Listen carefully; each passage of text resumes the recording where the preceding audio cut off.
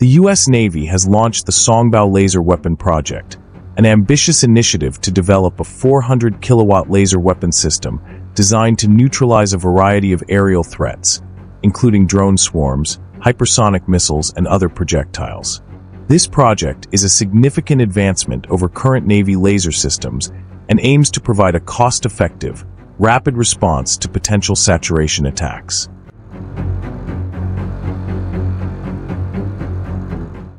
The Songbow laser weapon offers several key advantages and capabilities that could revolutionize naval defense strategies. The Songbow system is designed to deliver a 400 kilowatt precision weapon, a significant increase from current Navy laser systems like the 30 kilowatt LaWS and the 60 kilowatt Helios. This high output is achieved by integrating multiple 50 kilowatt modules into a single, powerful beam using a beam control assembly. This innovative approach allows for scaling to higher power without compromising beam quality, which is crucial for targeting fast-moving threats. The system is intended to contribute to drone and missile defense, as well as auxiliary roles such as remote sensing and target illumination. Directed energy weapons like Songbow offer a significantly lower per-shot cost, estimated between $1 and $10 compared to traditional interceptors. This is a critical advantage, especially considering the high costs incurred during recent deployments, such as those in the Red Sea and Gulf of Aden, where over 100 standard missiles, some valued at up to $4 million each, were used to intercept more than 91 projectiles. The continuous operation of Songbow is contingent only on the shipboard fuel supplies generating electrical power, offering a sustainable alternative to the logistical burden of missile resupply.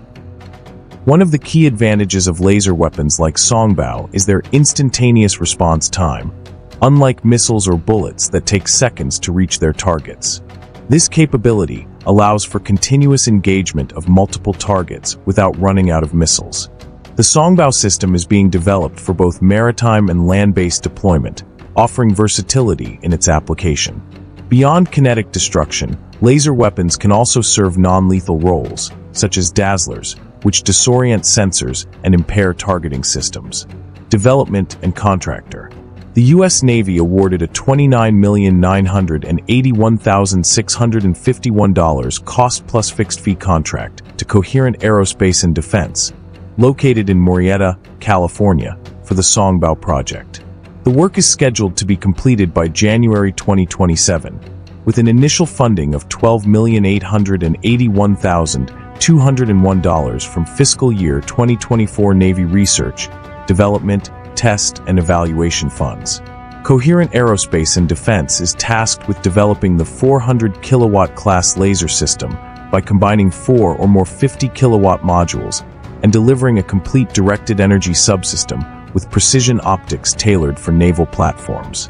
Coherent's background in vertically integrated production of lasers, amplifiers, optomechanical subsystems, and optical fibers supports the technical requirements of this contract challenges, and future prospects.